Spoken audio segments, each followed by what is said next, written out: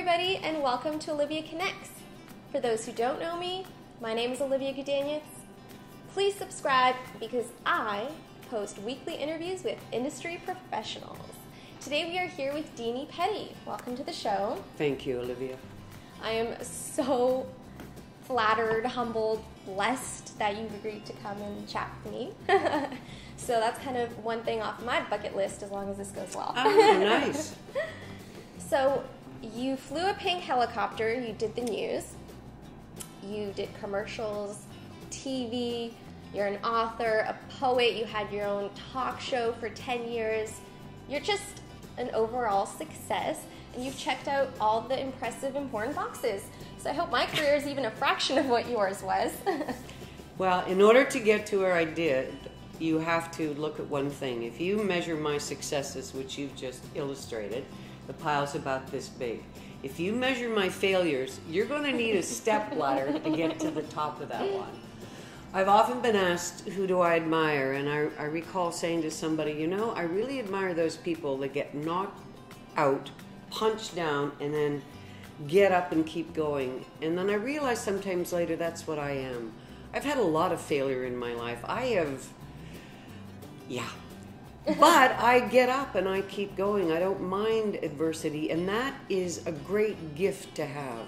And you need that if you're going to make it because you are going to fail. Everybody's going to fail. And as I say in one of my poems, drop gracefully to the ground and do whatever you have to do, and then get, Get up up, yeah. and go at it again and again until life itself sings through your soul. You've been blessed with a voice that has impacted and influenced thousands of viewers. Was it ever lonely at the top? Or were you just like so busy that you weren't able to take a step back and see all the things that were happening? Well, because my career began uh, flying a helicopter. I'm, I'm a commercial pilot. I have 5,000 hours in that little pink helicopter.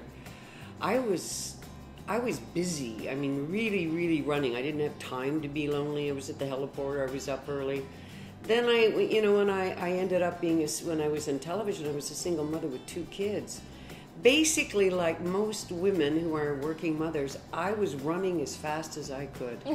and fortunately, I'm a long distance runner. So, was it lonely at the top? I don't remember being lonely. I remember saying to my studio audience, you know, if I came down one morning and all of you were sitting in my living room, I'd go, oh, I'll get the coffee, because that's what I was used to. No, yeah. no, loneliness was never been a problem for me. I like being alone. I enjoy my own company. Yeah, you cherish it, right? I do. I actually, when I finished television, I moved to the country and lived in the middle of the forest for 15 years just to be alone. yeah, it's nice and peaceful. And I saw in one of your interviews that somebody said you did 20 to 30,000 interviews over your career. What I want to know is what happens after an interview? Were you involved in the editing process? Did you have a say in what got cut and what didn't get cut? No, I worked with. It's interesting. All of the Dini Petty shows from CTV are in the York Media Archives, and you have no idea how many there are. But I looked at them, and there's the master tape. Then there's the tape they ran on air, and then there's some copies. So there's like th- thousands and thousands of tapes. So they would take the interview, and if it went really long, because it was live to tape, they would edit it down. Um, but I had wonderful people I worked with and trusted that were with me when I was at City and at uh, CFTO. So I trusted them completely. Yeah. And you owned a few episodes, or all of them. I own, yeah, I, have, I own the intellectual rights to all of them. And if you go to YouTube Which and I you did. Put in Dini Petty, I put up some of my favorites. Yeah, I watched a couple of them. Yeah, who did you watch? Did you watch Omar Sharif by chance? Yes. Oh my God, he's like the love most. that one, so I he's so it. charming. Yeah, yeah. Harrison Ford, the Duchess of York, Ah. all of the good ones. I mean, there's so many, but It's interesting with the Duchess of York. Boy, people can be mean. She gets, she's had 50,000 views, and she gets the one like, she's just a witch and she shouldn't ran, ran. I'm like, wow. I, re- I liked Sarah. well, it's easy when people are behind the computer to say negative comments. See, Um, what I want to get into is now talking a little bit about if you ever felt challenged or uncomfortable during an interview. I mean, you've done so many, and I'm sure one or two stands out. And how did you cope with that? confidence is number of times through. I'm an excellent public speaker. I've been doing it for forever. My first speech, I remember there was a little podium on a table, and I learned, and I had a dress on. I learned two things: get a podium that's a, attached and is on the ground, because ten minutes into the speech, the podium is shaking because I'm shaking, oh. and I had a perspiration stain from my elbow to my waist. So I went, okay, wear a jacket. My first five speeches were hideous. My first television interview with Patrick Macnee, the original Avengers. Mm-hmm. I sat down and I, I memorized it all, and the red light went on, and I asked him my first question, and then I did this startled deer in headlights. Hey, we've all been there. No, I froze completely. It's live TV. Oh, jeez. Yeah. At the end of it, I uh, he could have crushed me because it was awful, but he was very kind, and I interviewed him years later. So it's learning to public speak, learning to interview, being on television is number of times through. Because as you recall, it was it's terrifying being in front of this thing for the first while. After twenty thousand, you're like, well, actually, after a lot less. It was like flying a helicopter. After it took me like twelve hundred hours to relax. Until then, I was like, okay, I got it. Hang on. Ah. And then you were like, all right, I can do this. this I get good. this. Yeah, yeah. yeah. yeah. So if you want to be good at something like public speaking, which they say is the biggest one of the biggest fears, you have to suffer through being terrified. Putting yourself out there. yeah, yeah, you, yeah, yeah. What about your children? Their grandparents, your parents were in the business. Your mom, first talent agent in Canada. Your yeah. dad was in animation. Yeah. You were in the spotlight. Did yeah. they ever crave being in movies, commercials, TV? Uh, my son was born on television. Yes. Yeah. You so, were brave in that aspect. he didn't have a say in that, though. Did he ever choose to be on? no, he didn't in that. And years later, when I, I, he didn't see this documentary till he's 15, and literally when he's born, you don't see him, you know, exiting. I mean, I would not put that on TV, but you see him being handed to me. Both my children are artists. My son lived in Berlin, uh, Germany, for four or five years doing minimalist techno. Okay. Which I rather like now. My daughter is an artist. She's a painter. She's um, an artist. She also makes incredible sculptures. So, wonderful. Yeah. So they do many things. But the best thing about my children, if you met them, they're really good people, and you'd really like them. Well, that's a reflection of you. it it is in part. I, I was a single mother. Um, uh, the greatest compliment my son ever paid me is we were shooting pool one night, and he said, I want to thank you for being such a good role model. And I went, Oh, my job is done, Nick. So yeah. Go fly off into the world. yeah. We're really good friends. My only advice about children, I have a piece of advice. Yes. Tell your children the truth. Tell your kids the truth. There was the three of us, and I would say, Okay, look, here's the problem. You tell me what you think, you tell me what I think, because we, we're in this together and we got to figure it out. Yeah. So we've always been like that. There's open communication. Yeah, there are no secrets between us. And my kids would, my daughter would tell me everything. I go, no, I don't want to hear anymore. la la la la la. Filter. yeah, exactly. But it's good. Wonderful. Have you ever thought about mentoring someone? I do. I do. That's what I why I speak. Um, I was thinking of actually doing a video called uh, "The Last Speech."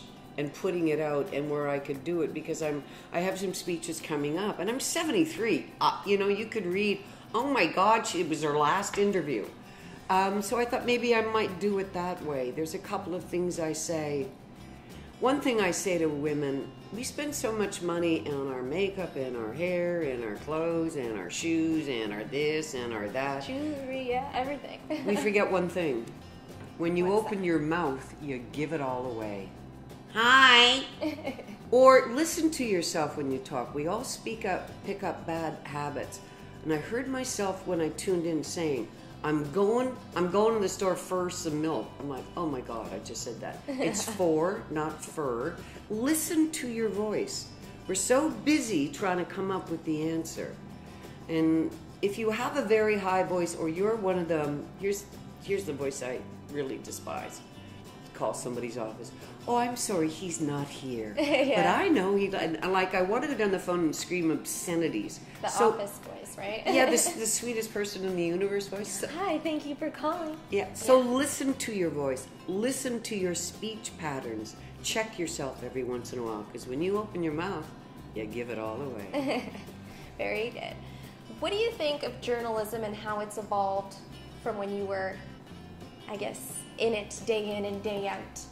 Well, I was there. I remember we got a television when I was young. It was like black and white. I remember going down the stairs and looking at this guy in black and white, going, "How boring!" And I left. it was Marshall McLuhan, that great Canadian, who said the message is the medium. Um, this medium of television and communication on a global scale, I hear from people, "Oh my God, the world is in such a terrible state." The world's always been like this there have always been idiots running countries, always, and and dictators like Idi Amin and Ceausescu and vicious, horrible people, and narcissists who get into office and become president of the United States who are like basically unfit for office. Nothing's changed. It's just now we know. People used to be able to hide it, so I think it's a good thing. The evolution of the human race is based on human rights.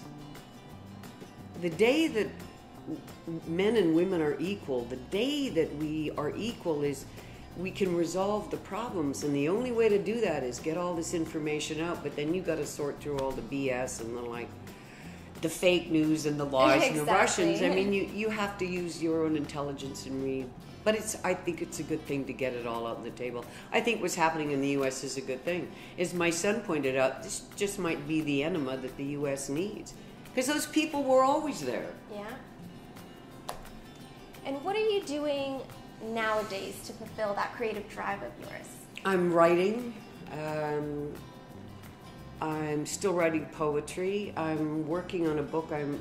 I would like to write a book, but I, you know, I was born here and I did that. It's chapters about the other side of life. Yeah. Uh, is one chapter, murderous rage. So it's about life is all about the people you meet along the way. So I'm working on that. Um, Do you put it in a cupboard? I think I heard in an interview. You take some notes, you put it in a cupboard, and then eventually it turns into a book. That's what happened with the children's book I yeah. wrote. I, I went to entertain the children at Sick Kids Hospital, and I literally at lunch, how am I going to entertain these kids? And literally, I saw the video in my head of three characters the queen, the bear, and the bumblebee. I scribbled it out went, and it wasn't perfect when I recited it, but I did. I threw it in a drawer, and three years later, I pulled it out and I went, you know what? I'm going to finish that. Yeah. No, it wasn't ta-da. It was like a year of oh. slogging. Oh. Yeah, yeah. Geez, I wish I had a that, happy surprise. the magic drawer. You put in the note, and the book appears. You should do a book with a, a cupboard of short stories or Dini's ideas. Yeah, Dini's madness. and if there was another job, thinking back, that you could have done instead of what you did, yeah, or yep. something you could do now, what would that be and why? I was asked to become a politician when David Peterson ran, and my kids were so young I couldn't do it. I was like, no. Um, the Fifth Estate wanted me to work with them, and the guy said, We'll guarantee you'll be home every Monday night. I said, That's lovely. I'll leave a picture of myself in my fridge for my children. yeah. Do remember me. But what I'd really like to do and what I enjoy, believe it or not, I'm a frustrated interior decorator. People call me to their homes. Oh. And I'm amazing at going, okay. And they go, oh, that's amazing. So I was just thinking today, maybe you should take a course and do that. You should. It's never too late. And I have a house coming up, so I may require your services. Uh. well, thank you so much, Dini. And thank you guys for watching. Please like, subscribe, and share with your friends. Take care, and we'll see you next week.